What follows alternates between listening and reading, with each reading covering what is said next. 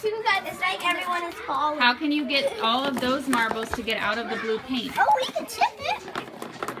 Should you tip it a little bit or tip it a A lot? lot. All right, you get at a steep angle. Okay.